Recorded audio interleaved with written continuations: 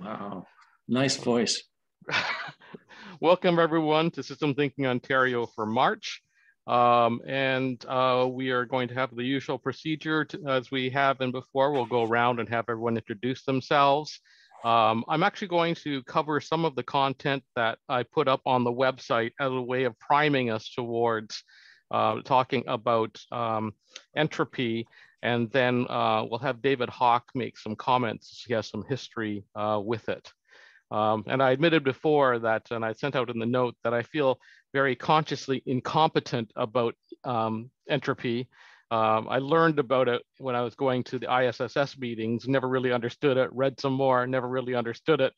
Not sure if I ever understood it, but I'm not sure if anyone actually ever does really understand it. So if this is new to you, you're not very far behind everybody else. and we'll have a great discussion and hopefully Dave will, Dave will clarify all that.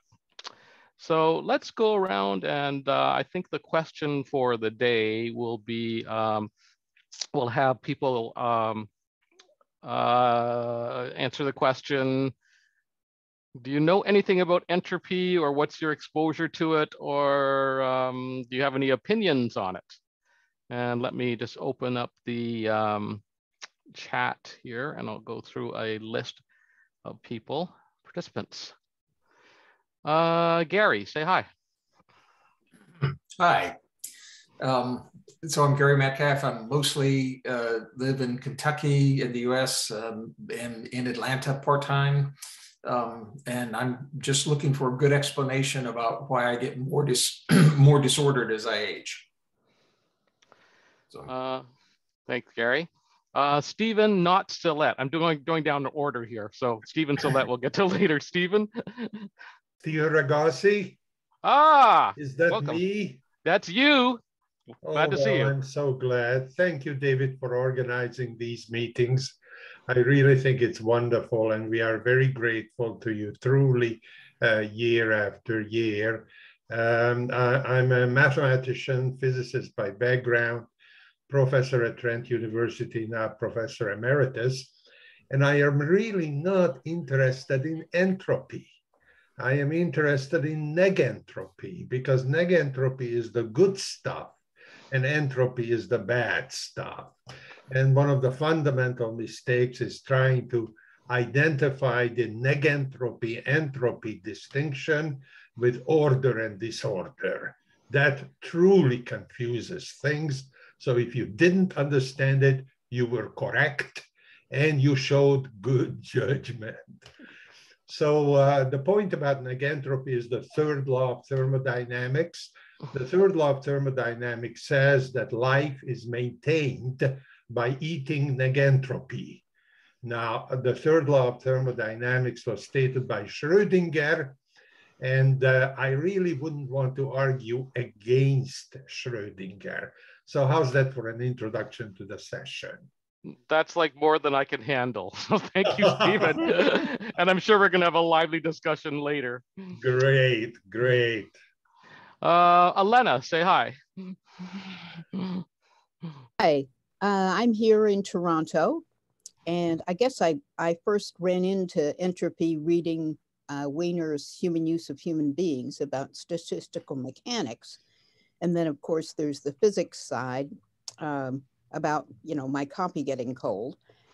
But what i'm uh, most interested right now is this characterization of disinformation as deliberately feeding entropy into the public discourse. And i'm kind of interested in finding out if anybody else thinks that might be an insight. Thanks elena. Emily Hey folks, uh, I am also in Toronto. Uh, I'm an SFI alumni and I took uh, systems thinking with Peter. Hi Peter, long time. Uh, Peter was also my MRP advisor.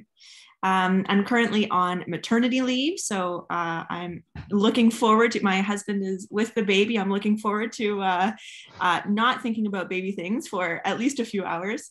Um, and I first encountered entropy uh, in my undergrad chemistry courses, and it's been a while uh, since then. So looking forward to diving into this together. Thanks, Emily. Griff. Hey everyone, good evening. Griff, I'm uh, coming in from Guelph, Ontario this evening, uh, and I've been around with systems thinking for a couple of years. I would say at the moment I am uh, entropy agnostic. It's a good way of driving it. Thanks. okay, David. Uh, Jeff. Hi, everyone. My name is Jeff Wielden, and I live in Brighton, Ontario. And uh, I'm a systems thinker and a friend of a few SFI alum, and so they passed this on to me. Thanks. Uh, Jonathan. I am Jonathan, and I'm connecting for the first time uh, with this group, and I'm based in Geneva, in Switzerland. So it's actually quite late for me here and I'm, I'm, I'm very pleased to finally be able to, to take part. Um, I might not stay till the end if it goes on too long. Um, very happy to be here. I, have uh, training uh, as a physicist and I've been interested in um, causality and decision making for various reasons, which I'll not get into. And I've been very interested through this in questions of emergence and reconnected with entropy also myself. Uh, and so this is a topic that uh, I'm quite interested in. Thanks for joining us in the distance. And yes, it's quite late where you are. Uh, Joshua. Hi, everyone. Um, I'm a pretty blank slate on entropy. Uh, I don't have a science background per se, and um, just general interest in um, uh, the the topic, and um, but have been attending uh, the Odd Systems Thinking Ontario event um, for a couple of years now. Thanks. And I'm in Toronto. Thanks. Kelly? Hey, I'm Kelly. I, am uh, also coming in from Toronto. I'm just in the middle of transitioning from Alberta to Hamilton, uh, but back in Toronto now. So, as far as uh, background, I come from a change background, and just trying to catch up on entropy, lots through David Hawk in terms of just threads of information that I don't know that I've woven together yet, but I don't know whether it's part of the reason why I'd be considered a troublemaker because I'm looking in change. Thanks. Uh, Michael. Hello, everyone. I'm Michael. Um, live in Guelph, but I'm calling in from Kingston tonight. Uh, I'm a practicing engineer, so I encountered uh, entropy as part of my thermodynamics training. Uh, recent SFI alumni. I'm looking forward to the discussion tonight. Thanks. Peter. I'm Peter Jones, professor in the SFI program that's been mentioned. Uh, and I'm interested in in uh, entropy and order creation and order creation formation of systems of order as a process of design, but also in emergent social structures such as economies, which um, can be thought of when, when, when working with the inputs that are, are put into economies as, as far from equilibrium systems. That is, they, they don't operate at an equilibrium. They require, they're open systems requiring a lot of energy to to keep going and and i'm interested in in uh, in, in, in david hawk's um, interpretations because consider him one of the kind of maybe clearest i don't know about other living interpreters of georgescu roegen but you're one of the clearest interpreters of nicholas georgescu roegen so interested in in the discussion thanks peter Petri, who has been sending Instagram photos of Lake Superior. yeah, that's a frozen wasteland that looks like Planet Hoth right now. yeah, that's that's where I am. That's just out my window, actually. Uh, so I'm in Goulais River. Uh, I'm an AI systems designer. Um, I'm interested in all this stuff. Nice to uh, see you all. Thanks. I miss Robert, Toronto. Robert if he's not carrying a baby. sure, I'm here. Actually, I was going to try and make a joke about neg entropy and having twins on the way. I don't know if I did that or not, but um, um, yeah, I, I, I in the Toronto, general Toronto area, Markham, I, I studied mechanical engineering. So I guess I bumped into some thermodynamics concepts there, but I'm still holding on to some lots of interesting questions, how energy relates to information and things like Maxwell's demon and these things. But uh, uh, more questions than, than answers, but happy to be here. Thanks. Thanks. Rose. Yeah, hi, I'm in Toronto, and um, I guess I first came to entropy through, um, like Michael, physics training. And I think I first became aware of it as the driver of order and, and creativity from a book I read years ago called Into the Cool, um, and have been interested in that ever since, and, and certainly with the connection to um, ecological economics. And I love this topic. I, I suggested it a few years ago, which led to David Mallory doing a talk. But I'm really looking forward to uh, what David has to say tonight. Thanks. if Rose has read Into the Cool, she's ahead of all of us. Uh, Stephen Sillett.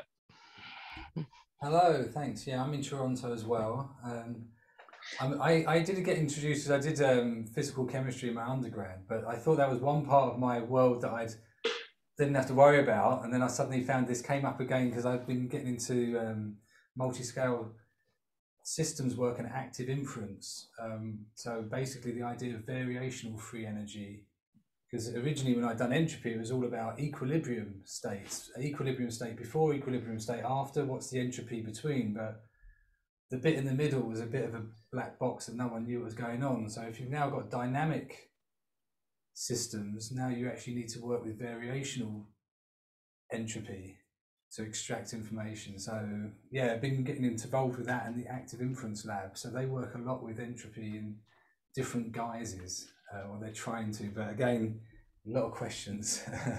Thanks. Thanks, Stephen. Tim, say hi. Hey there, Tim. I'm in Toronto. Nice to see everybody. Um, and yeah, big fan of entropy. Always enjoy chatting about how that maps onto these broader topics. Look forward to it. Thanks. Umar in the UK. Hi guys, uh, my second time here. I'm from Peterborough, UK. Uh, I work as a Scrum Master, but then uh, it kind of puts me in the agile workspace and change management, and that's where my interest in systems thinking comes. And your group has been very interesting, and, and interesting topics. Just here to learn. Thanks, William. Hi all, it's been a long time since I've joined one of these meetings. Um, William, also from Toronto, currently design researcher at uh, Yelp. Um, and my exposure to entropy, you know, as a kid, I, I, was just obsessed with trying to figure out a way to create perpetual motion. And believe me, I, I really tried. Um, then I started studying uh, mechanical engineering, where I learned that, you know, um, you know, that we can't really create perpetual motion. So I was exposed to the study of entropy as well. Um, from the perspective of mechanical systems, I remember looking at the entropy equations and thinking about how that might well be the equation that describes the passage of time to the point where I almost got that tattooed to remind myself that time is supposedly irre irreversible, but but anyway, I digress. Uh, then I started the SFI program uh, also with Peter. Hi, Peter. Um, and feeling enlightened by being exposed to system studies and system dynamics. And I started reflecting on energy exchanges across systems, mechanical and non-mechanical, such as economic systems, social systems, and others. Um, yeah, happy to see everyone again.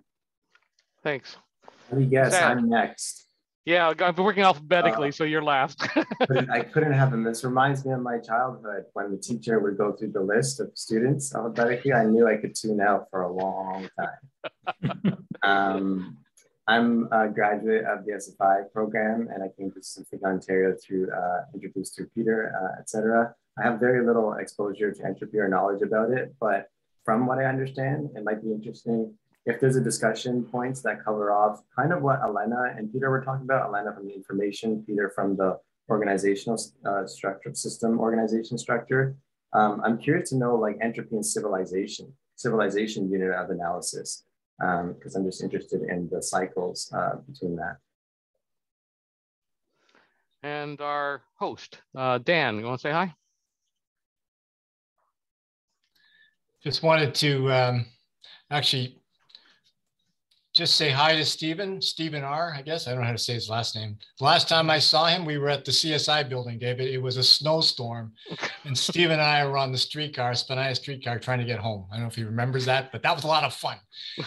So the, and that was that was one of the most wonderful conversations of oh, my life. Oh gosh! And okay. I would like to thank you very much for that streetcar ride. So, sort of following on the long topic of Stephen's interest in uh, net entropy, neg entropy, I'm also interested in that area. But another area I'm trying to get a sense of is all the work that David Ing's doing on yin and yang. I'm trying to figure out if entropy has anything to do with that. So I'll be waiting, figure that out. Thank oh. you. That's tough questions. Uh, Don just joined us. Uh, Don, do you want to say hi? Hi. oh dear. I'm not, sorry about the video thing. Here we go. Uh, yes, you want me to introduce myself? Yeah, the questions, do you know entropy? Right. yeah, a, a dim, a dismal subject. um, yeah, of course, like anyone who's interested in general subjects of such, such a sort uh, uh, without any real knowledge of physics, I've always been interested in, in it. And uh, I'm wondering if, uh, from a systems perspective, um, there are more options to think, other ways to think about entropy. So I guess that's why I tuned in. Okay, thanks. Okay. So, so I'm going to uh, share my screen again, just briefly, and share, um, and go back and just do a quick review of what I posted on Systems Thinking Ontario screen, because um, for those of us who are trying to get on the same page, we had this uh, nice video that was available on the law of thermodynamics in the economy, um, which was, uh, I thought, pretty good. Um, it, it, went from more of a social um, sense than it did from the usual physical senses. Mm-hmm. Then we went through these lists of pre-readings. So um, rather than put people actually through uh, Nicholas Georgescu-Roegen, there was a summary article um, that was available. And um, in effect, uh, the question is uh, what happens when you actually look at the entropy law and you put it into economics? Um, there's an article by Roegen that was uh, in retrospect. So if you didn't read the original work, sometimes sometimes easier to read backwards.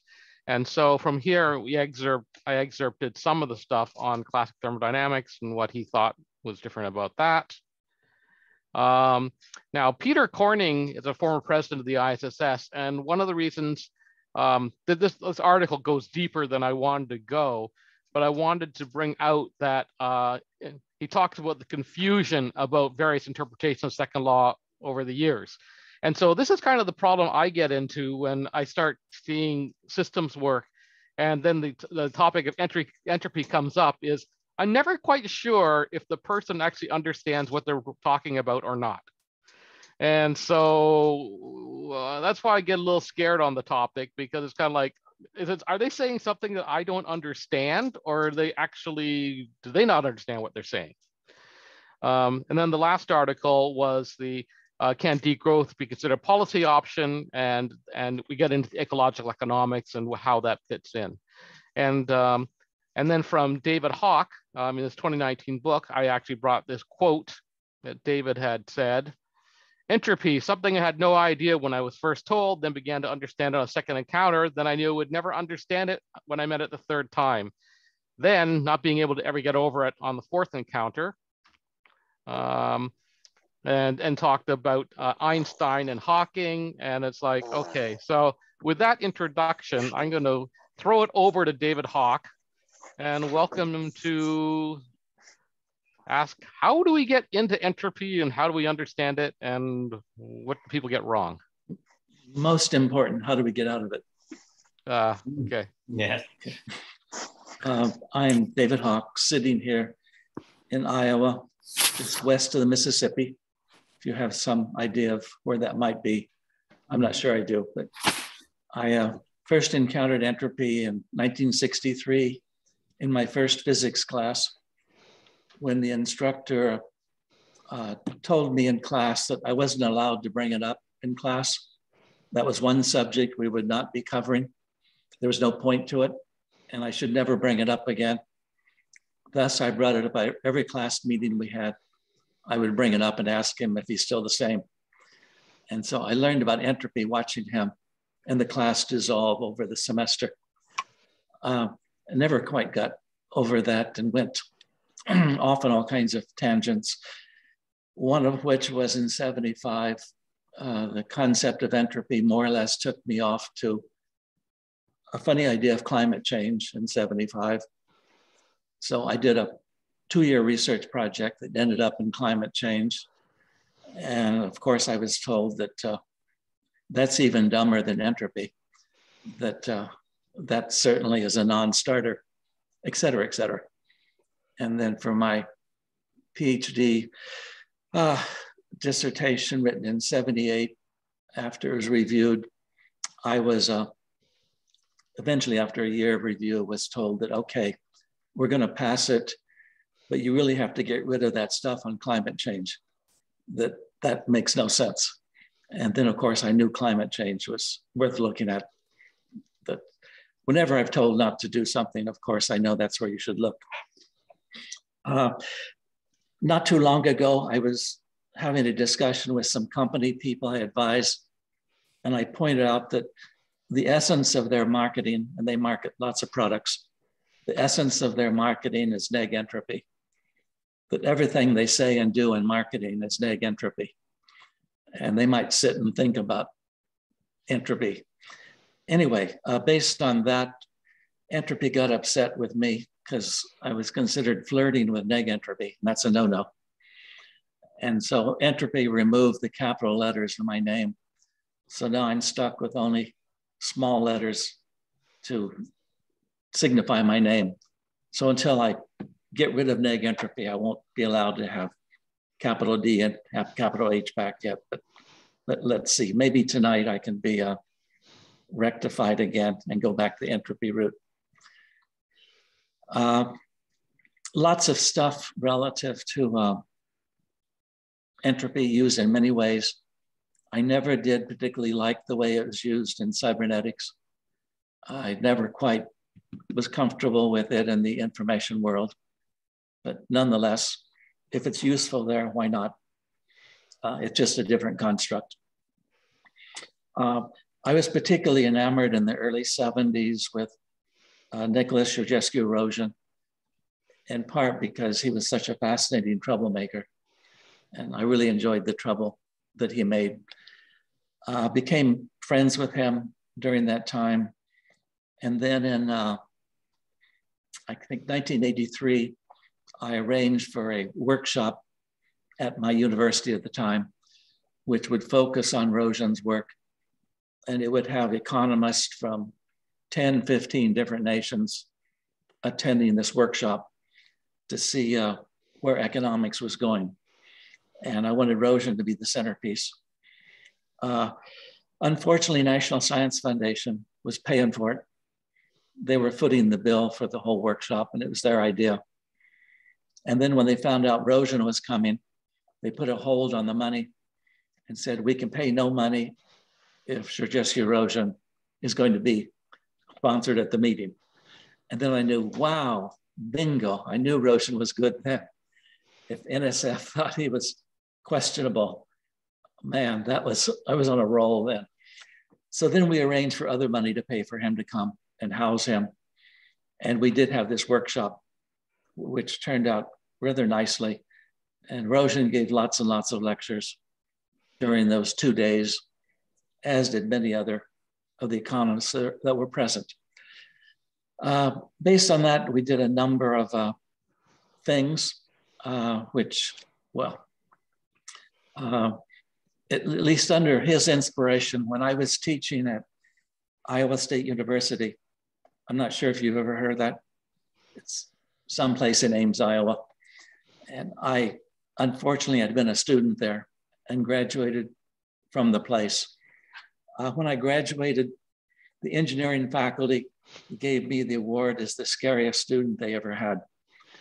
And that was quite an award to get. That was the first and last year, I guess, it was ever given. And so nonetheless, I didn't have good relations, but a new dean at Iowa State heard that certain professors would resign if I was brought back to teach. And so he came down to the farm and convinced me to come back to teach. These four would resign, he said. And I thought, wow, what an opportunity to make it better. So I did go there and teach. And during that teaching, I did, uh, off in the architecture department, I did what was called an entropy studio, meaning how do you bring the concept of entropy into the design of buildings? And I wasn't sure what it was. And the faculty, of course, uh, well, whatever. But the students really liked it and really went whole hog into it. So much so that we were in this um, five story brand, brand new stretch skin glass building, of course, with no cross ventilation. And the students were learning more and more about thermodynamics. They were wondering why we didn't have operable windows. So one night, the students took out the stretch skin windows and replaced them with Pella double hung windows. Anyway, the Des Moines Register had a heyday with it, destroying government property. Everyone on campus was angry. The president was really angry and somehow used the word entropy a lot. And I'm not sure how they meant it. I'm not sure how the studio meant it. But nonetheless, that became a crucial, uh, shall we say, a red line. That was a no-no. Students should never be allowed to do things like that. So in the process of replacing the double hung windows for cross ventilation with the stretch skin glass, the workmen of the university, of course, broke the glass. It's like 250 pound panes of glass and they broke them. So then the students were charged with breaking government property, et cetera, et cetera. So the final conclusion of that, and there really is no conclusion, but the final conclusion was the student body in the School of Architecture built a three-story soybean straw baled house behind the design center to show as an example of what a house in the future would be like that would do less environmental damage. And it was a fantastic house. Anyway, the angry people got even angrier and went on and on. And the students were kicked out. And uh, I was fired and sent off to better places. But nonetheless, if you have a chance to do an entropy design studio, don't do it. That it uh, causes a lot of trouble and nobody understands what the hell you're doing anyway. In line with that, going back to Roegen, he was always quite helpful and I always appreciated him. And during his stay with uh, me for that workshop, we did a joint paper, uh, assuming it could never be published, and we were right. It was called uh, Second Law Economics, and it was a paper of humor, humor much more than seriousness. Uh, I think maybe in another 10 years, it might be less humorous. Nonetheless, I always enjoyed working with him, laughing with him. Every year, I think I've mentioned this to a couple of you, but every year he would, as a Christmas present, send me his favorite unpublishable paper that year. And he was really excited about his unpublishable papers and uh, quite liked the man. And sorry for his death. I hear it was a rather bad one. Uh, he died very lonesome. Um, uh, least of which would be the Nobel Prize people that were angry at him every year because the Asians would dominate him, Europeans would vote for him, and the Americans were unanimously against him, et cetera, et cetera, et cetera. That went on for many years. Nonetheless, that only proved that he was onto something. Now, uh, getting back to entropy, uh, Roegen included materials along with energy. And so a number of the negative papers written against him and the negative reviews are how you can't do that. It's only for energy. Uh, since then, there's sort of two reasons why he may have been right. Uh, one was during my two-year project in Sweden, we found with the paper companies that you can recycle paper only three times. Its quality denigrates over time. You cannot recycle paper the fourth time. You simply have mush and there's no order in MUSH to turn out more paper. And so we documented and sent that out to the science community and said, what happens relative to entropy in this? Is there a relationship going on here? And the second, second thing having to do with some of the cutting edges of physics these days uh, began to say that materials and energy are identical. That in essence, all of the uh, uh, fights we had over them being different may not have been accurate after all. So anyway, Rosen eventually is coming into good stead in spite of his tremendous enemies, and he had some tremendous enemies. Any questions about any of that? That's sort of a confused preamble. And the part you should remember is entropy took away my capitalized letters. It was not very nice of her. Him, I'm sorry. Okay. Him is neg entropy, her is entropy. We all know that. St Stephen had posted a uh, comment. You want to talk about that, Stephen? Where's yeah, I mean, there's an interesting thing with neg entropy because if you've with got who? I'm sorry. with neg entropy, Okay. neg entropy is kind of how we interpret certain changes when energy drops in the system because it, the reactants have gone to a product which has a lower energy configuration. So we say, okay, it's had neg entropy. But that's a kind of an average of where we were at the beginning and where we are at the end.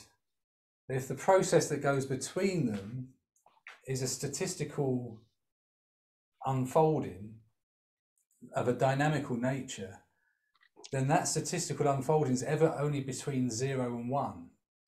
So strictly speaking, you can never actually get neg entropy in what happens in real time. It's just the product is lower entropic products.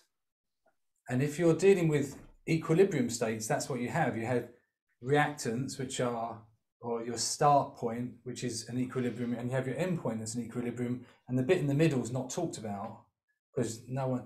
But if you do nonlinear dynamics, now you're in this realm of being in amongst all that, and it can only go between zero and one. It can't go negative. So you believe neg entropy is possible? No, Okay. I think it's. I think it's statistically, you get the result of an entropic force, which can push things in that direction. But in real time, it's a, it's a zero to one statistical process. Mm-hmm.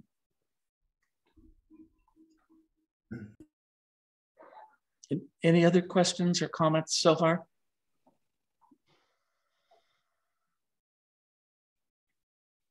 Neg entropy is a lot of fun. You can uh, have a lot of fun with it. With the company I was working with, which makes products, their advertising was implying that they would go forever. They would never need maintenance, never need service. They're infinitely long products. So customers should never worry about that. If you step back and look at the ads you see on TV, essentially every product they advertise is that way. David, I wonder if I could just focus the discussion. Yep. Uh, that uh, living organisms are systems. Yep, like you and me. Living organisms are lumps of negentropy. They're what? They are lumps of negentropy. Boy, I hope so. I've been praying to God about that. So uh, the, the, the crucial point that perhaps we could focus on is photosynthesis. That in photosynthesis, somehow, the negentropic force of the sun coming in is turned into large molecules. So I want to dispel the mystery and uh, look at something very concrete, uh, which is the process of photosynthesis uh, as uh, the creation of large molecules, which are rich in negentropy. So I'll just leave it at that uh, for now. for the moment? The, a, a major point of argument has to do with what is a closed system and what is an open system. And so at least the main definition of entropy deals with a closed system. So many argue uh, since we're in the solar system, we have this thing called the sun, then there's no such thing as a closed system because the sun always brings energy into the earth. And so that is a particular point of view. Uh, the best person I've ever been around that would say that is wrong, uh, in other words, clearly would say it was wrong, was Carl Sagan. That Carl Sagan in 1980, he and I put on a session at the World Futures Conference where we talked about entropy and negentropy in the universe. And he firmly believes that uh, entropy controls the universe and will take us all the way to the end of the universe. But then he postulated, which I've mentioned before to a couple of you, he postulated that maybe at the end it reverses itself. And then the entire universe is neg entropy and entropy is gone. And he said, why not? But he said, the train we're on is the one headed for uh, entropy and that neg entropy does not exist. It simply isn't there. so Carl Sagan living organisms, living organisms are lumps of negentropy. And uh, the crucial point where I would focus is uh, photosynthesis. And it's kind of cute, you know, that Sagan suddenly goes off into space uh, when a discussion like that is to begin. It's interesting. Why does it go off into space when we are trying to talk about photosynthesis? Uh, Boltzmann was big on this topic that you just mentioned. And Boltzmann, vis-a-vis statistics, uh, could find neg entropy whenever he wanted to. He was rather good at finding it. Rosen had lots of trouble with Boltzmann. Uh, it's interesting to read the two points of view. It's um, interesting. When I think about Boltzmann, I always think about Robert Musil, mm-hmm. uh, der Mann ohne Eigenschaften, the man without qualities. And I kind of think of Boltzmann as summarizing the Austro-Hungarian Empire at that mm-hmm. particular moment, which mm-hmm. is random molecules bouncing around. Yes, yes. In I, I'm I, sorry, I want to go back to photosynthesis. Do we have a single biologist in the room? If we are systems thinkers, how come we are not thinking about living systems? And that's a genuine question of mine. It is not a rhetoric question.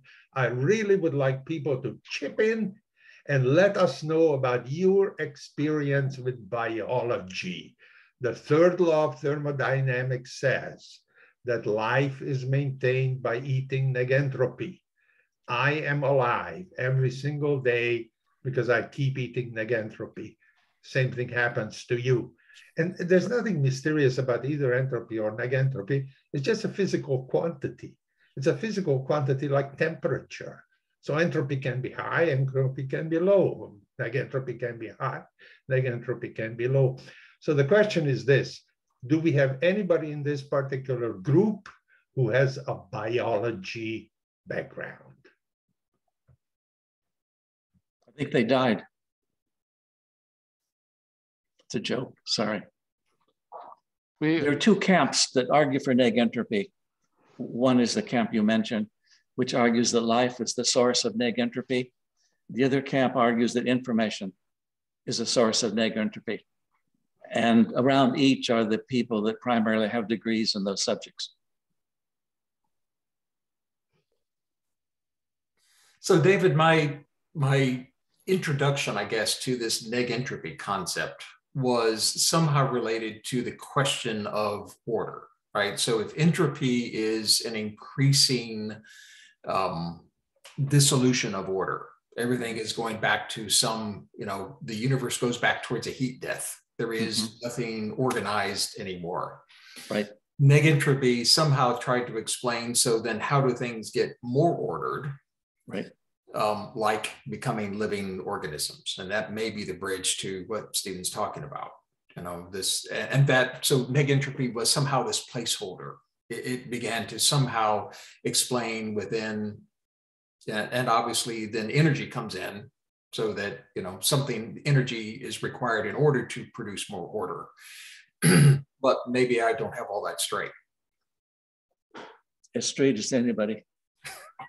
it's a it's a tough one that I mean, even my quite religious friends enjoy talking about entropy. And so for them, uh, entropy is hell, neg entropy is heaven. And so if you put enough energy into it, you'll end up in heaven. And finally, you'll have neg entropy. They don't like the idea that uh, entropy affects life and people die. That's just a dumb idea because everybody knows people don't die. Life goes on, et cetera, et cetera. Stephen Salett. Yeah, well, this is interesting. It's always tricky when things get scaled, but in in in in um in terms of like entropy, it's like I say, it's like a flowing river. You can't bottle it. It's not a thing. So, for instance, if I saw actually it was on the post that you said how it could be called uncertainty. So, can you have negative uncertainty? You see, this is the question. That's what I'm saying. It's like so the question is what you can have is a variation from the maximum uncertainty and complexity of variable um, complexity of variation and you can have a bound on that you can and you can have variation in that but it, it, it never goes below zero in real time. Now by fluctuating the amount of there's the, the amount of uncertainty you can then start to gain insights into how something is you can get information out of that because the amount of uncertainty how much it varies can give you an indication of how close you are to something. So what what what they use in active inference is they talk about informational free energy as opposed to thermodynamic free energy. And then you get into a slightly different game. But um, like I say, in real time, then your your uncertainty can't become negative, but it can become a force in thermodynamics to drive, like water becomes ice, and then there's a there's a neg entropy process. You could call it neg entropy, but it just means it's forced it into a state which is which is in a higher energy configuration. And therefore it takes heat out of the system because the the energy's gone into the molecules and it's got locked because statistically it's done that but it doesn't necessarily mean that any point in time the process that's driving it is is essentially negative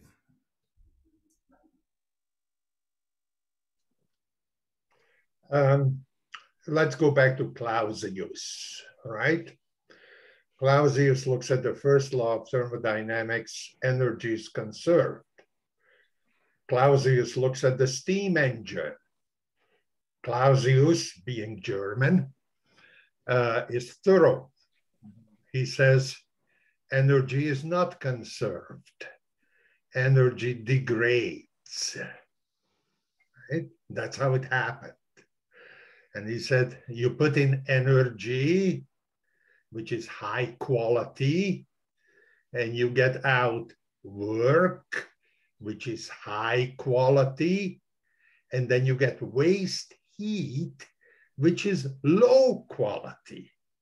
And the poor man, again being German, focuses on low quality energy. And he has to have a name for low quality energy and he calls low quality energy high entropy. and the poor man doesn't notice that it's the work that's important.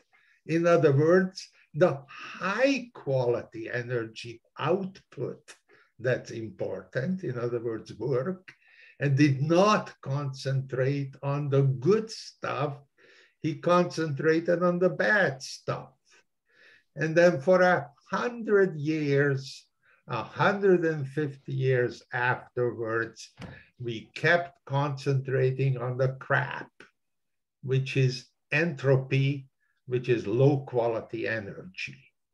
So physicists, being insensitive to language, don't notice that the first law of thermodynamics is contradicted by the second law of thermodynamics. The first law says energy is conserved. The second law says energy is not conserved, energy degrades. The third law of thermodynamics is what's interesting because it talks about living systems. Life is maintained by eating negentropy. In other words, when you are putting food in your mouth, you are absorbing high quality molecules. And if you focus on high quality molecules, you focus on photosynthesis because it is at photosynthesis where the high quality molecules are absorbed. Uh, are, you aware of the work of Eunice Foote, F-O-O-T-E? You got me. At Who's the same time, in 1856, same time, yes. he took issue with that thesis and argued that uh, more important is probably that waste stuff that goes off. And so she put together a model that if you don't worry about the production process, or you don't worry about the crap and the low energy, as well as the gases that come off of it, you're headed for trouble. And she articulated that in the process, you create carbon dioxide. Uh, what was Foote's ethnicity? Foote, F O O T E is her last name. So what, she was gave, ethnic, what was the ethnicity? Uh, I'm not sure, but she was born in the US, I think, uh, upstate yeah, New York. I mean, it's, it's, a, it's a fairly reasonable thing, you know. Yep. If you don't pay attention to washing the dishes, uh, the household disintegrates. Well, Washing she, she, dishes is very important. You want to know what's important about marriage? What's important about marriage is who washes the dishes. Yeah, so, or frankly, the divorce. Focusing on entropy, I believe, is very important. Focusing exclusively on entropy is uh, strange. Anyway, she she did a paper on this in 1856 and thank you very much. I'm going to follow up on that. That's and she couldn't Thank she you. couldn't present it to AAAS, so she had the man sitting next to her present it because women weren't presenting back then. Yeah, and they just thought about weird stuff. Yeah. Um, is anybody is anybody familiar with Gibbs free energy? Yep. Tell us yep. about it, please. Anyway, relative free energy. Yes, I understand. Uh, I mean, I, I'm quite sold on the entropy construct because of climate change. And it's a terribly good doorway into climate change, which most people don't see the connection, but most people don't see climate change either. I agree with you. In 1972, I was lecturing in a mathematics uh, course at University of Toronto, and limits to growth came out. And I immediately brought the material into lecture and I said, you know what mathematics is about? It's predicting how humanity is going to kill itself. Mm. So, so, so yeah, I'm, I'm, I'm, I'm fully with you when it comes to, you know, early detection of uh, generating pollution and pollution does all sorts of interesting things. But still, I'm, I'm kind of wondering about as to why people did not run with things like uh, Gibbs free energy. Maybe you can't sell it. Good point. Can't disagree with you on that. It's this uh, new book I have coming out, which David had mentioned. Uh, I, I think the name is rather appropriate. Short-term gain, long-term pain. And that's mostly what drives humans and including scientists, et cetera, et cetera, that uh, in essence, we are into the short-term gain. And so within the book, I describe it as part of the Faustian bargain that we humans make, and it leads to the Faustian tragedy. And for those that have trouble with Faust, they wouldn't like the book. those that understand the tragedy uh, would be more interested. But it goes through climate change in some detail on how it's all a Faustian bargain. And most of us sort of know it's going badly. We just spend a lot of time thinking it isn't.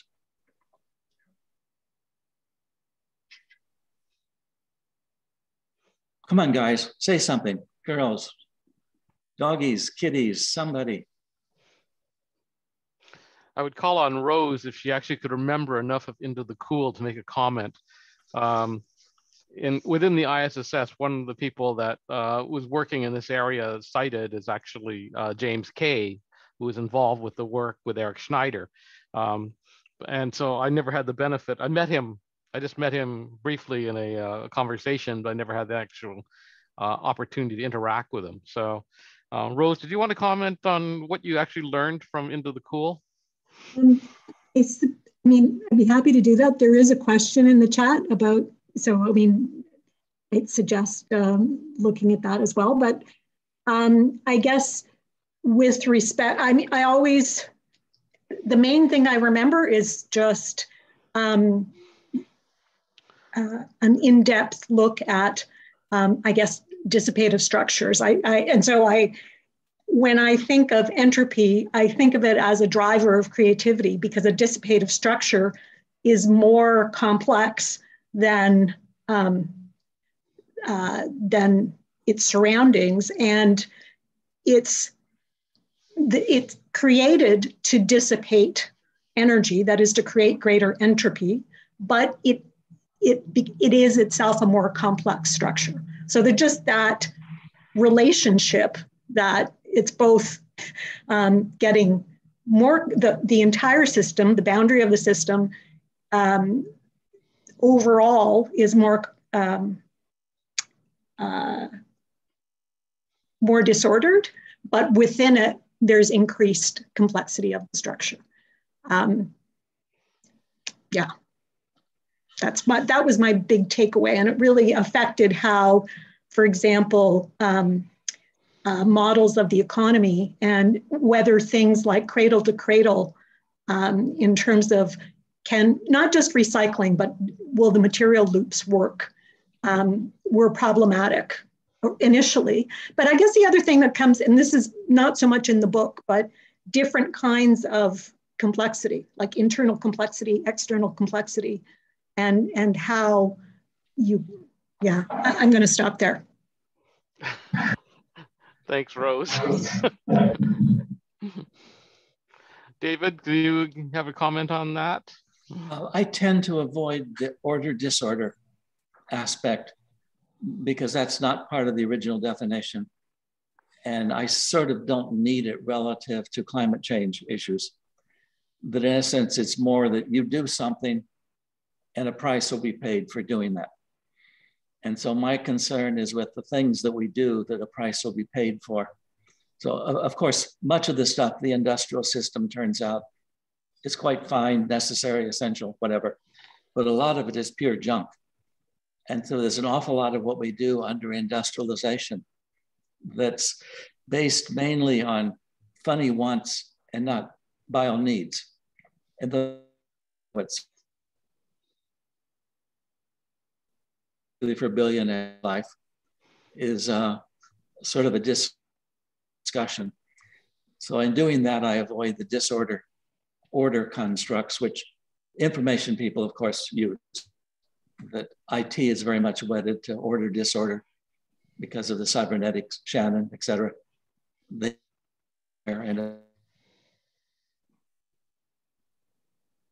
that direction and simply talk about a degradation quality. And so is it worth it? Was it worth it? And uh,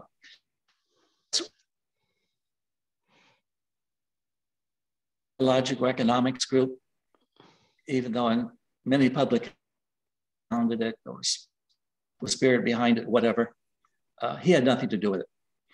That he, uh, his expression when he first heard about it was, uh, someday you will see ecology eat economics.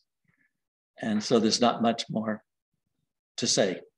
so in other, in other words, the order disorder is sort of a tangent that's uh, uh, much more for IT and probably not for physics, probably not biology, probably not uh, climate change issues. I, I, don't know, that's my feelings, so I, I sort of avoid it. But you, you, still use the terms, but I'm not sure disorder is entropy. It just, there's a qualitative difference, which is, I'm not sure I would measure it by disorder. I mean, everyone that opposes me has disordered thoughts. And everyone that agrees with me has a very tight, orderly system. That's all I know for sure, David. Could I just hasten to agree with that? Uh, is that there are many different ways of increasing entropy. And one way of increasing entropy is dilution. Mm-hmm. In other words, you're not generating disorder, you're just generating stuff that's more dispersed, kind of runs off into the space of exactly are gone. So exactly, I, I wanna I, I wanna affirm that that that you're that you're definitely thinking in the right directions. Um, uh, yeah, it, it, yep. it was a mistake to to identify the negentropy entropy distinction with order and disorder. I, I, I agree with that.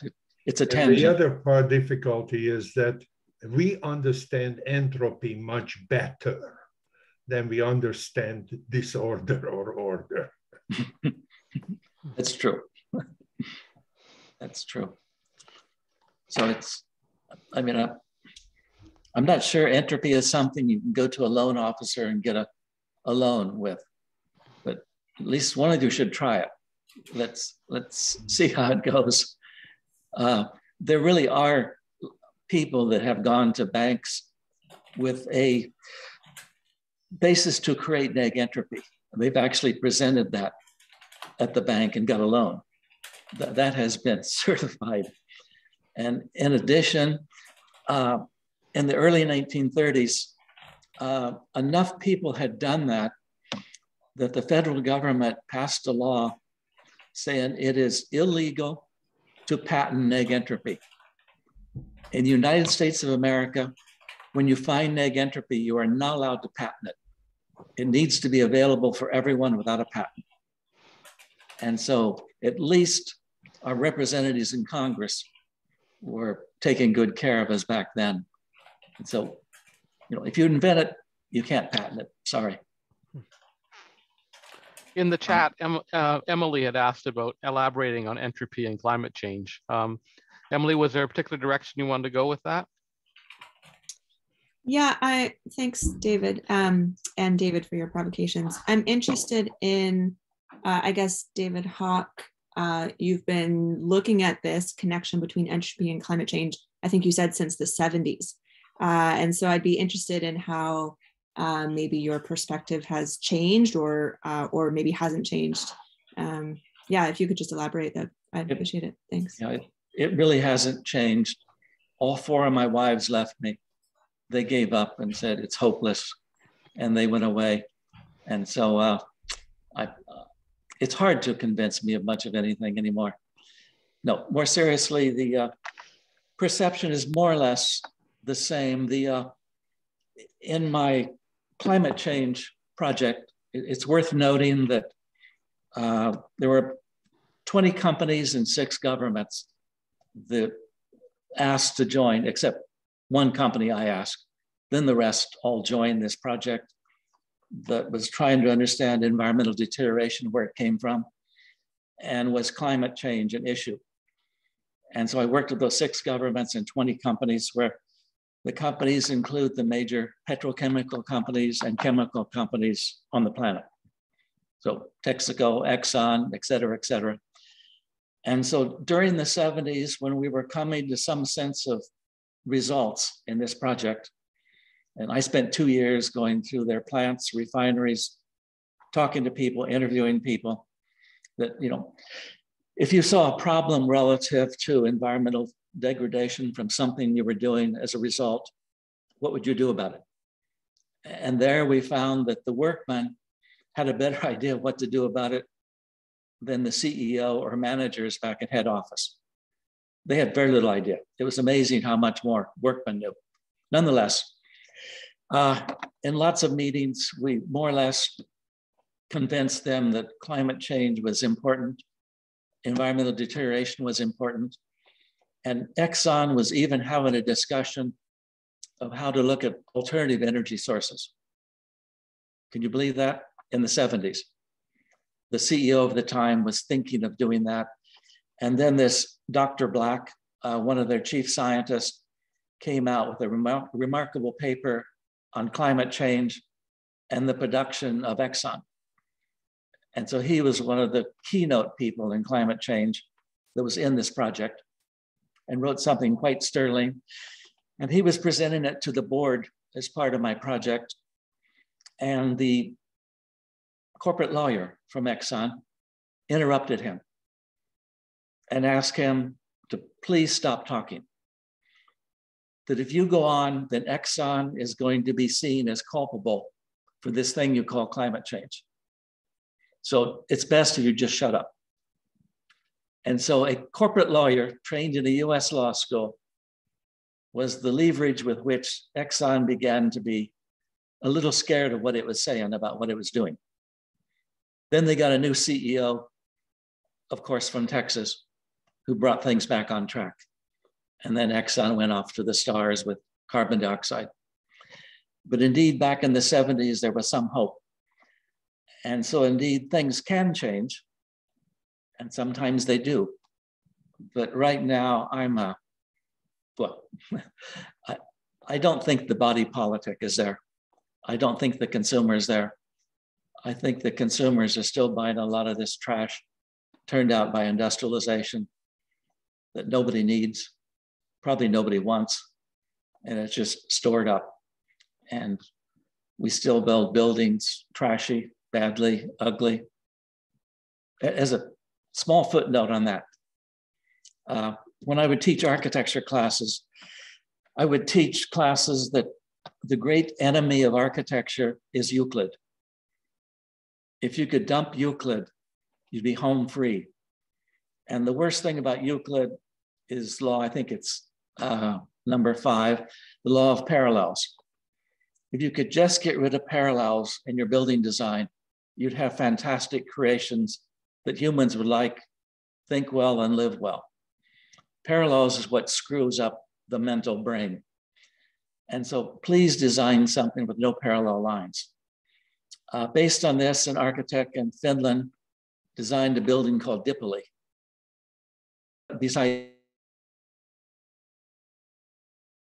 Beside center, the architect designed it in order to get less and be less drunk. And so if you design this building to be fantastic to be in and feel sort of drunk, you don't need to drink so much. And he was right. It's a fantastic student center. And they started having some advanced engineering courses in some of the rooms in Dipoli. And they turned out amazingly well for getting engineers to leave business as usual and go to business as unusual. It was a basis for creativity, these non-parallel rooms. Finally, engineers took it over and kicked most of the students out because it was too successful. Anyway, there's never been another building quite like that until recently in China. In uh, 2017, a new library was built in a new town, which tried its best to get rid of parallels. And this is the library I've shown you quite often, David. Uh, beautiful, beautiful building. It was specifically designed to try and get rid of Euclid's parallel lines. So we could certainly make much better products with industrialization, but the stuff we're building is, I mean, my God, why do we do it? Why do we buy it? We don't use it, we don't consume it. It sits around, becomes garbage, taken away to a dump or thrown in the ocean.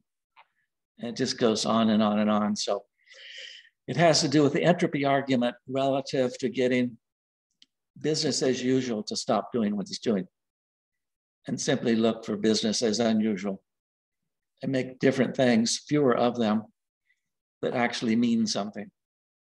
So if nothing else, think about architecture. Next time you're in a room with parallel walls, it's a joke.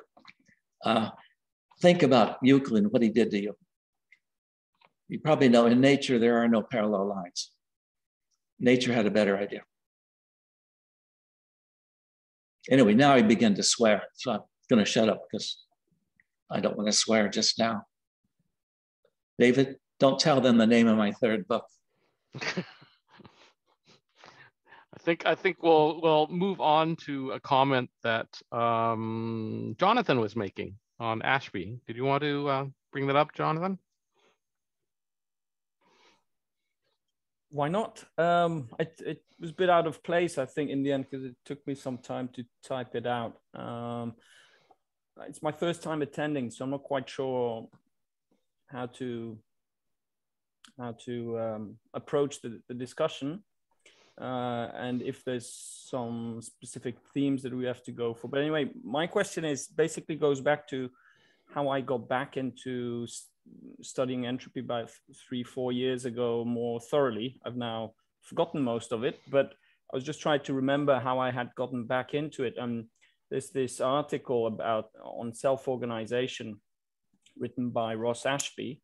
And there was something very interesting in there that he talks about uh, this a very simple idea for self-organizing systems. And I was interested in this because I was interested in understanding how people uh, make decisions and where goals come from. And um, one of the ideas is that goals uh, are kind of a, a self-organizing phenomenon. And in this article, he says something that I found very surprising, and actually I've, still not really understood it. He, and it's this sentence I've written here. So every isolated determinate dynamic system obeying unchanging laws will develop organisms that are adapted to their environment. And he further says uh, to explain this, and in fact, this is connected to cellular automatas, is my understanding. And let me just share the rest of the text. in going from any state to one of the equilibria, so that was his whole, whole thing was looking at dynamic systems, Ashby a lot. Um, the system is going from a large number of states to a smaller. In this way, it is performing a selection in the purely objective sense that it rejects some states by leaving them and retains some other state by sticking to it. So basically, he's considering non-ergodic uh, system. Um, and in such a system, he's saying, okay, you have self-organization. And and he talks about an isolated uh, determinate dynamic system. And i always uh, that i remember when i read this i thought this is weird because for me in a closed system from physics we know that entropy either stays the same or increases it can't decrease. But here we're talking about a decrease in entropy in this particular example. And i could i've never really been able to to um, make sense of, of this because both uh, both versions kind of make and I think you you end up getting into Maxwell's demon kind of issues here and you start looking into uh, um, the, the, so, so for example for cellular automatas it's not necessarily true that um, entropy um, has to go up. If you have a periodic cellular automata, obviously the entropy will maybe go up at some point and then go back down to where it was before. So this notion that entropy has to increase is uh, not so not so obvious. And I've never actually be I kind of dropped it because I never was able to understand this, but I, I think there's a, something uh, quite deep and interesting there. Anyway, I was just throwing that out there to see if anyone had anything interesting to say about this in fact, that's really mainstream. That's not a tangent. That's terribly important for a lot of people working in the entropy area. Uh, I don't know if you know the name Eric Trist, uh, Tavistock Institute. I don't. In, es in essence, their work on the self-organizing group, or they call it the autonomous work group, came out of the discussion, just like what you said. And uh, uh Eric was my thesis advisor for the climate change work back in the 70s. But later I found that in essence, his ideas on self-organization uh, came very much from, from the Russian Kropotkin, who worried about these things back in the early 20th century. The idea of the self-organizing group to compensate for things getting bad or turning bad. But in essence, how to get beyond leadership to go to self-organization in order to correct things. And the self-organizing group was something which came out of, I don't know, 20,000 BC, whatever. This idea of you don't need a leader, that the group as selves can organize themselves. And so in essence, the entropy argument was it sort of all goes to shit, whatever you do. But in essence, Kropotkin argued that you can go the opposite way relative to these humans that can defy that process. And then Trist set up many experiments to show that was true. So it was actually quite good stuff. And it certainly included the term entropy within their argumentation. And so it's certainly there. So just because entropy is taking place in the larger system doesn't mean you can't play with uh, the neg entropy uh, relative to the social systems. And indeed, you need to. But to have a leader, say, of 10,000 people is not the way to work against entropy. That guarantees entropy wins. That it must be self regulation, self organization, because that is where the order lies. And so, indeed, they went through what you just talked about with some amazing results that are almost never applied because they're too successful when they're applied. It scares the hell out of management. lots of examples if you're interested. I mean, I think there are there are two different ways you can look at uh, negentropy. Or I mean, uh, maybe I'm not an expert on negentropy, but uh, as I understand it, uh, a system that reduces its entropy. Can this can happen if you are an open system mm-hmm. um, which i think is what uh, i mean life and biology we're talking about that previously. Um, the common exp- explanation is that it's an open system so obviously the second law doesn't apply in this case. How exactly it all works obviously is still mystery but um, but then uh, the point that this Ashby is making, I thought was interesting because it's quite a different argument. It's not about being an open system. Mm-hmm. It's uh, it's a computational argument, uh, much the same as what you would uh, make for cellular automata, uh, automa- automatons. Um, it, it, has got nothing to do really with if the system's open or closed. It's just got to do with the fact that it's a digital computational system. And um, anyway, that's um, that's how I was uh, I understood it anyway. There, there might have to be a check there about whether it's um, uh, it's a second law of thermodynamics or statistical entropy. Um, I was taking a data science course in which we actually had to do um, entropy, information entropy, and the thing that was drilled into me is this is not the second law of thermodynamics. Right. Uh, it's a mis- misnaming. Right. That that that is that is true. Although um, there is a connection that is made through, uh, I mean, um, Szilard and all those guys that were working on Maxwell's demon, they they definitely make a connection uh, in specific systems between these two types of uh, of entry, entropy and uh, uh, Landauer basically cheats a bit because he, I mean, he makes a connection by, um, he, he basically says the, um, that um, informational underlying informational entropy in the end he he makes it such that he starts from the assumption that the second law um, is valid to to make this. Um, I I'm not actually sure what that um, it's true. I've heard this argument also before that uh, uh, thermodynamic entropy and information ent- entropy are not the same. Although I think you you can make a connection, and anyone who's working on Maxwell demon type issues will make that connection. But, if you'd yeah. like to go deeper in that, there there is some good material. It began with the Hawking bet with some people at Caltech in I think 2003 until 2006 where in essence that was the argument and had to do with what happens when information goes into a black hole. And Hawking argued it's destroyed, it's gone. It cannot come out of the black hole. And the other two professors at Caltech argued that indeed you can retrieve information from the black hole. It is preserved, and so it is not subject to entropy. That in essence, it uh, may not be neg entropy, but it preserves itself. And so indeed, uh, two years later, Hawking finally gave in and said, well, I think you're right.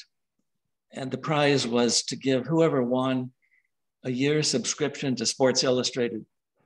So indeed, he uh, gave that subscription to the two professors. And then a bit later, one of them wrote back and said, you should have torn it up in pieces before you sent it to us, that we would have understood it much better. Anyway, more recently, a couple of people have now argued again, maybe Hawking was right, that perhaps information cannot come out of a black hole.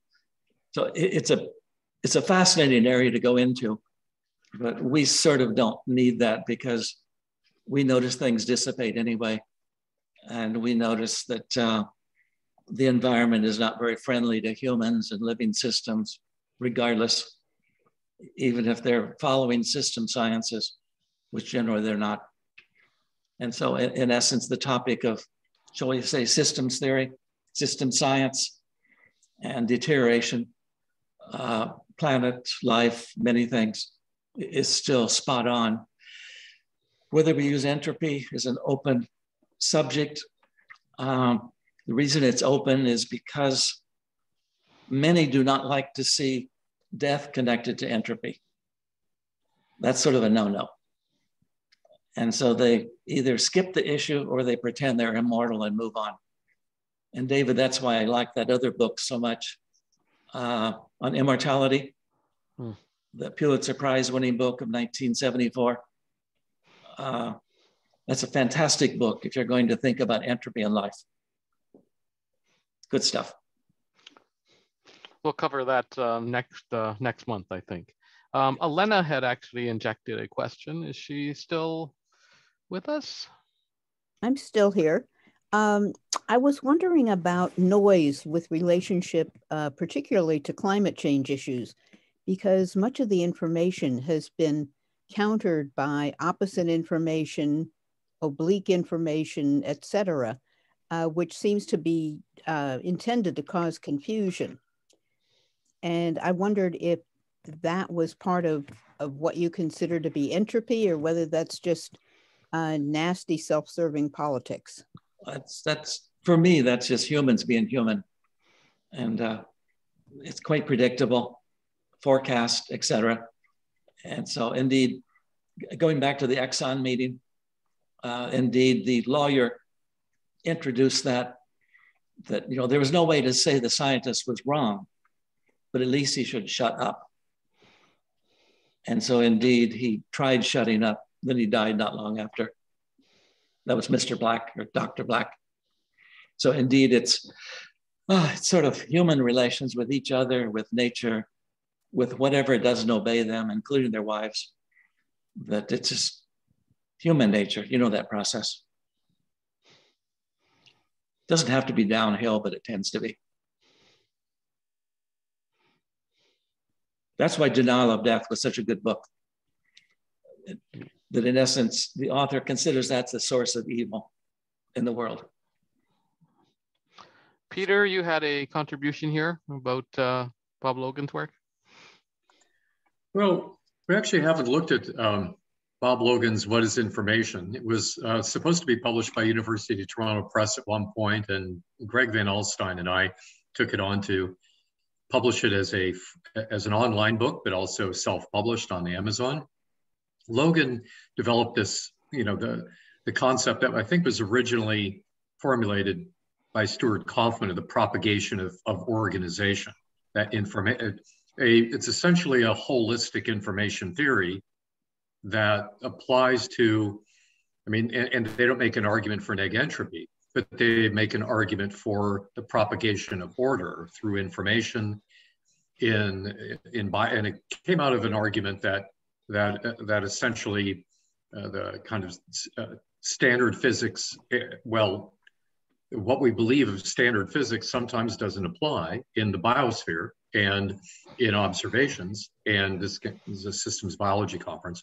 And that biotic information does not follow the Shannon um, hypothesis of, of course, a lot of things don't, but you know, the kind of under underlying um, information theory based on, on, on bit transfer and, and, and information formulated as bits.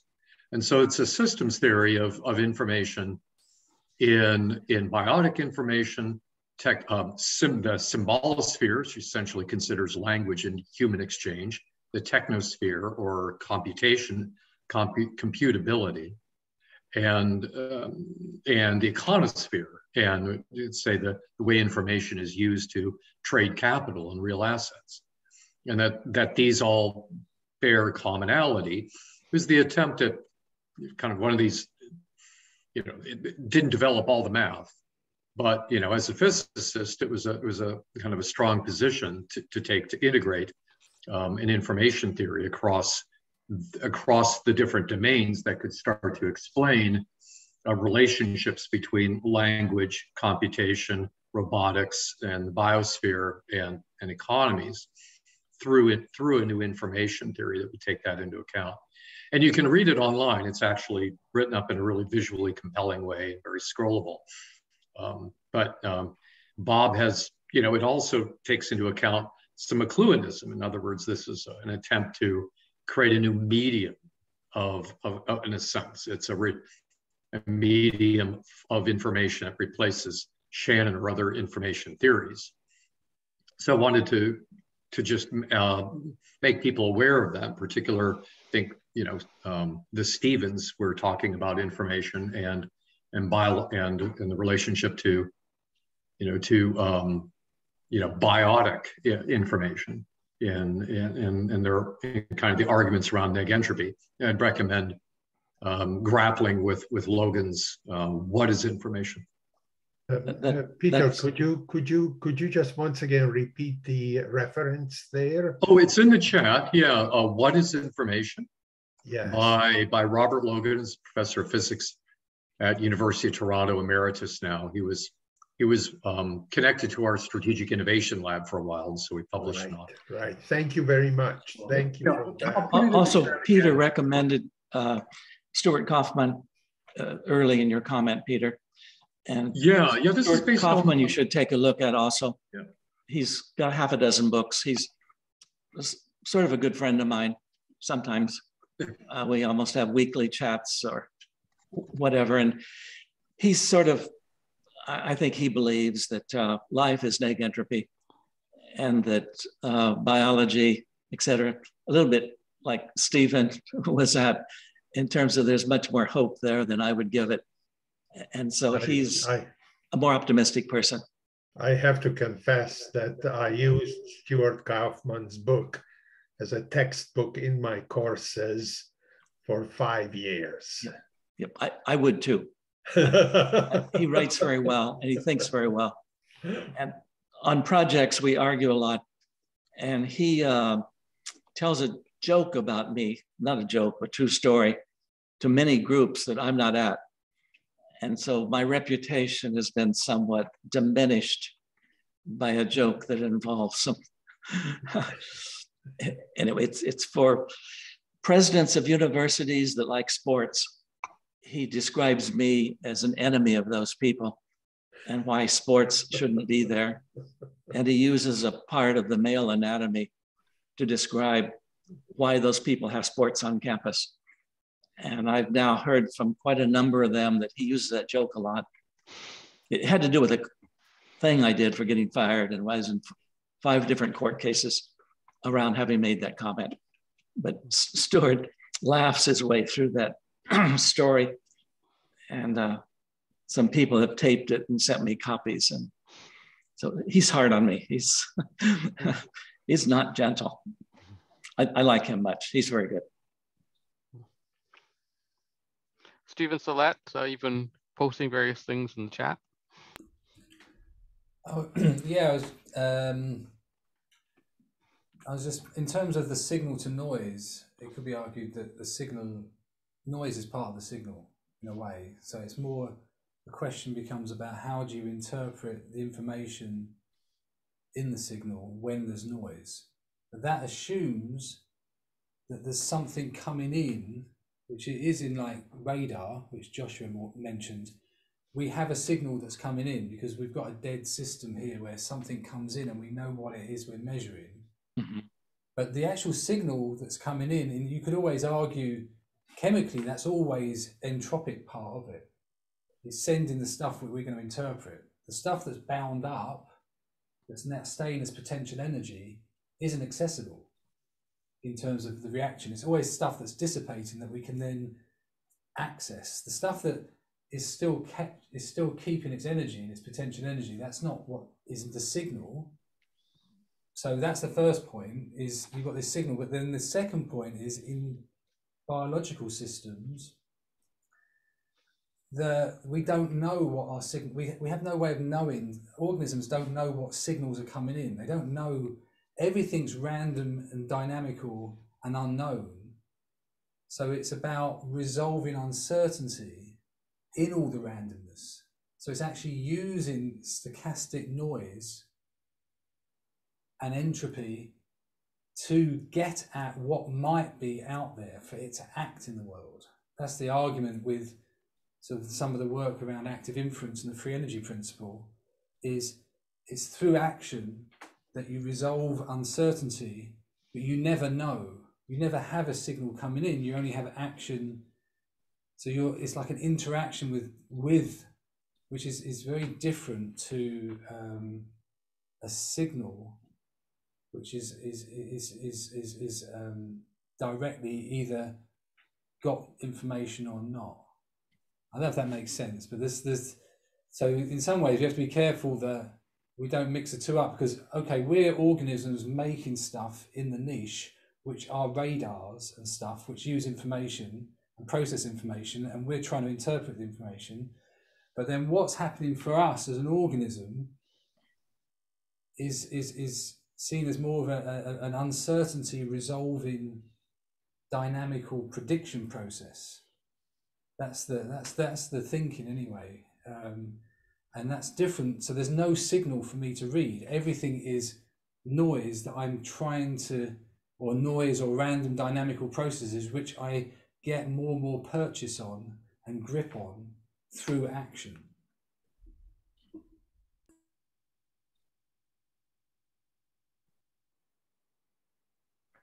What do you mean through action? Could you just uh, didn't? Yeah. So by acting, you either will see through least action. So with the free energy principle, it looks at complexity and accuracy. Okay. So either the least complex approach to acting or the most accurate to meet my predictions will be um, the one which minimizes free energy the most. So you, you you're forever trying to minimize or create actions which resolve uncertainty in the most plausible way. The, the complexity could be kind of like an entropy term in terms of the less entropy in terms of how the action takes place, or the most accuracy in terms of how close it was to what we predicted. Okay, so um, and that's the kind of balancing act that goes on.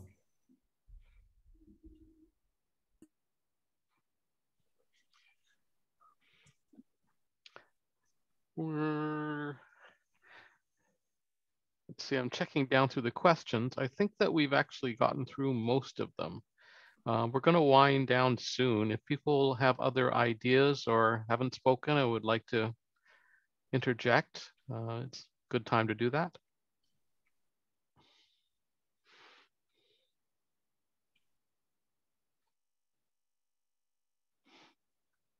I would take to take a poll about whether we're more confused or less confused about entropy. Supposed to be more confused. Yes, I think I'm more confused now than I was when I started. um, I mean, I, I, mean, maybe I have a simple question uh, to to go back to the beginning of the discussion. Um, what is really the difference between negentropy and just saying we reduce the a system which reduces its entropy? Why? I mean, is there a difference or? Uh, neg entropy is reducing the entropy. That's all the, it is, yeah. You know, in essence, think of you have a can of gasoline sitting there, has tremendous potential to do things. You burn it, and according to the first law, it's still there, didn't go away.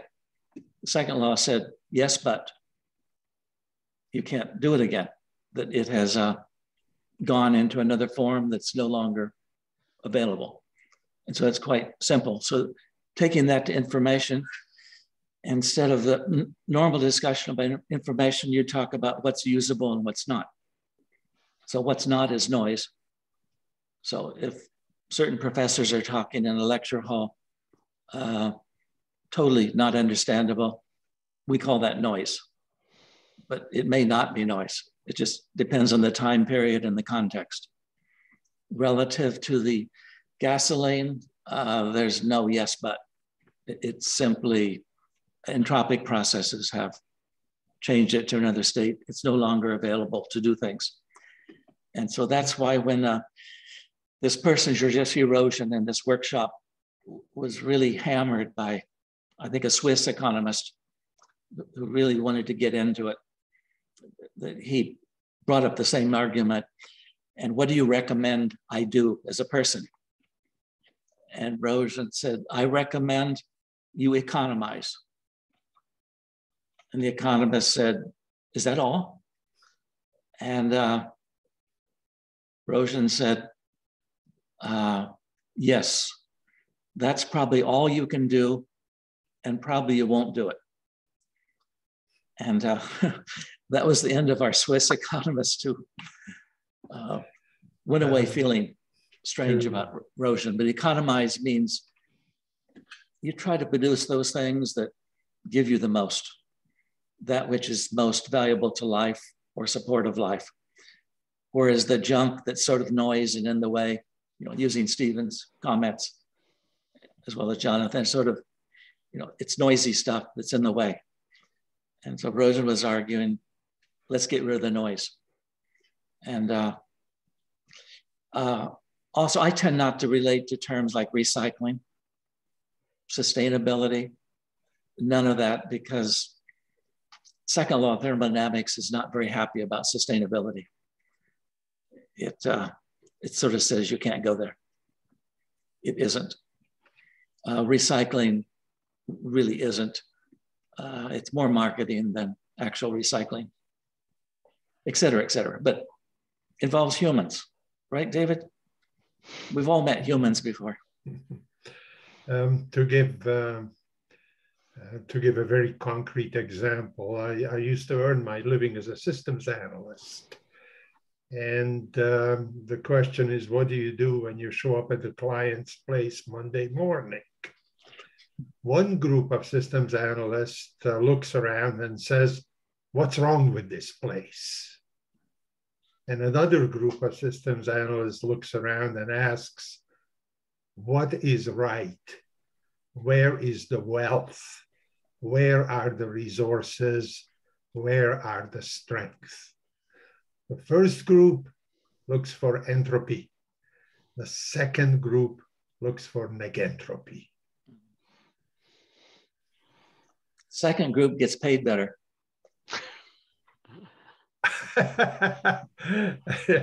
well, I'm sorry again, uh, uh, speaking from experience. Um, uh, one of the best ways of getting fired is figuring out what's happening in a corporation. So my advice has always been to the students, you're going to figure out what's happening in about 15 minutes. And once you do it, shut up about it. I, I try to avoid this by never doing what's called consulting for a company. I never consult. I only advise. And I explain to them the difference is as an advisor, I'm allowed to swear at you. As a consultant, I'm not allowed to swear. Otherwise, you won't pay me. And so let's do advisement. And so in my advisement, I then point out my uh, pay scale and point out that no pay will come to me. It all goes to a charity. Either I select it or you select it. So my pay will always go to a charity, not to me. But I am allowed to swear when you do really dumb things. So we find really dumb things. And I tend to do well with the companies that do well. So, for example, with one company, I was with them for 15 years as their senior advisor. And during that time, they went from 30 billion a year to 200 billion a year. And have done a lot of very interesting things worldwide. And we're still on good terms, and I'm still allowed to swear. And uh, they have changed a lot, particularly relative to climate change. So that's, in essence, their number one issue. Whereas some other companies, uh, yeah, I mean, there's, there's no point. There's nothing to say or do. Uh, as a consultant, they'd probably pay you, but you'd leave shaking your head, wanting to know what that was all about. And uh, it, it's, anyway, the distinction I make between advisement and consulting seems understandable by them.